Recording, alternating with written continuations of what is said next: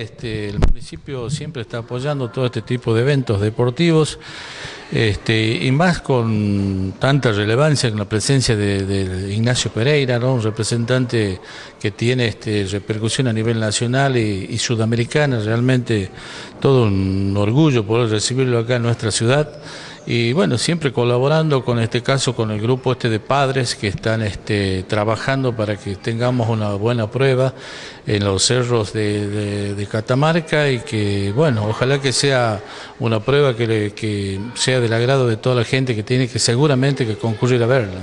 Siempre el municipio a través de la Secretaría, a través de la Subsecretaría de Deporte, para eh, incentivar a los jóvenes, más que nada a estos que recién están empezando, en, practicar algún deporte.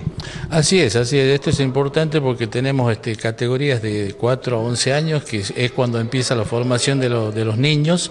Y bueno, creo que es una disciplina que los va a formar más que nada, no solo deportivamente, sino como personas, ¿no? Como personas de bien. Creo que el deporte ayuda eh, más que nada eso y desde nuestra gestión, te digo, estamos trabajando, no solo respaldando todo lo que puede ser este mountain bike, sino otras disciplinas también donde se vuelca todos los, niños y la juventud a practicarlo y bueno, creo que es una, política prácticamente de Estado del Intendente para apoyar todos estos eventos deportivos.